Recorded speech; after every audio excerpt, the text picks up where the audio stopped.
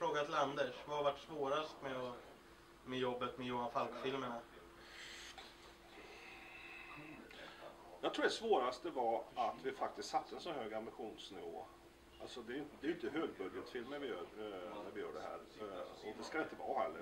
Så jag trodde faktiskt när vi gjorde första säsongen att hur, hur bra kan det bli med en sån här låg budget? Och ska vi göra sex filmer väldigt snabbt också. Men så visade det sig, i och med att man filmar så snabbt, så, så blev faktiskt allting blev så mycket bättre och alla filmerna korsbefruktade varandra.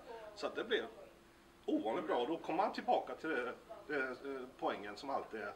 Det är manus som, som avgör, det är skådespelaren som avgör och sen ska vi filma av det på bästa möjliga sätt självklart också. Och klippa I viss mån regissören. Ja, det är något sånt där också. Men eh, precis, i och med att allting var som en lång film så var det ju faktiskt inte så låg budget totalt sett. Så att, eh, ja, jag trodde det skulle vara riktigt svårt och det är ju självklart svårt under resans gång. Det är så många beslut att tas men det var min, min största skräck i alla fall att det här kanske inte skulle bli så bra. Men jag, jag blev motbevisad av alla möjliga. Jens bland annat. Jo då, det tar sig för varje gång.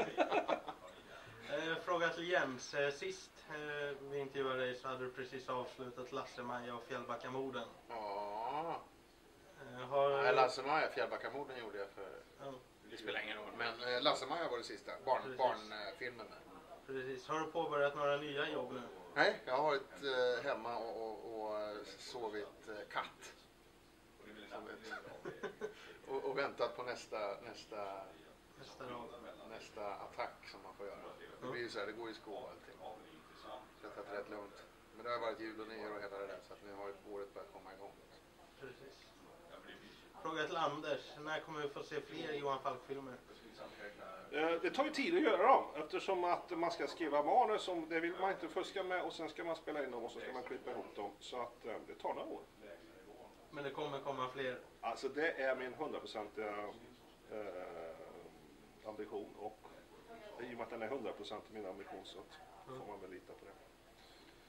Eh, nu i efterhand, har du några scener som du har klippt bort men som du ångrar nu när du ser, ja, ser filmen efter den är Eh, klar? Eh, nej, inte den här säsongen. Men, eh, jag kan tycka en grej vi gjorde i första filmen. Det är lite synd att den försvann. Men det var, men det var han tvungen att gö- att göra för att filmen var så lång. Va? GCI. Efter att Tommy Ridders är skjuten i hissen av Joel Kinnemans karaktär Frank Wagner.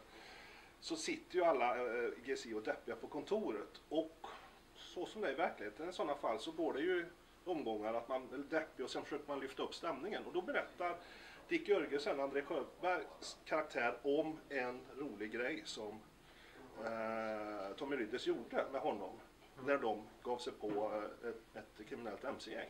Och den var en jätterolig scen som verkligen beskrev galenskapen hos GSI. Men den var så jättelång och den låg lite och flöt utanför men den är fantastisk scen. Jag försöker klämma in den i bakommaterial hela tiden men jag får ju inget bakommaterial här för det är ingen som eh, orkar klippa in det i filmerna. Men det ska vi nog ändra på i framtiden. Eller på skivorna menar jag. Ja, Så att det kommer att dyka upp. Den scenen kommer att se dagens ljus förr eller senare. ja, det ser vi fram emot.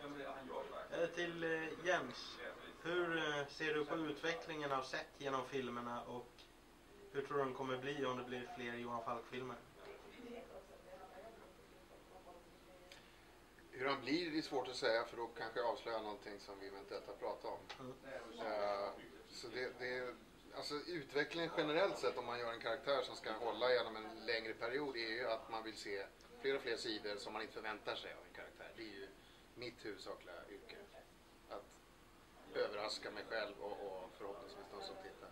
Det är det vi håller på med nu faktiskt. Vi sitter ju även, eh, skådespelarna är ju med i Writers Room när vi sitter och skriver på säsong 3. Hur kan, kan vi knuffa våra karaktärer till så intressanta situationer som möjligt där vi faktiskt går till botten ännu mer med deras karaktärer och skapar ännu mer intressantare situationer. Och, men vi vill ju inte avslöja detta för detta är ju ändå filmer som ska vara en överraskning när de kommer. Så att, eh, ja, ni får väl se sen. Nej men det är så precis. Vi fick ju ändå se mer av sätt i de senaste filmerna än man har gjort tidigare. Kommer vi få se ännu mer sätt på det avslöjandet där? Här, vi kommer att se en hel del av. Ja, bra. Seth har ju fått igång en hel subkultur. Ja, och eh, det, det kommer... Verkar det som. Vi kommer få se mer av honom på flera sätt och vis kan vi säga. Det det var inte meningen att det skulle bli ordvits där, men det blev det. Det blir så. Det är lätt hänt. Det låter spännande. Ehm,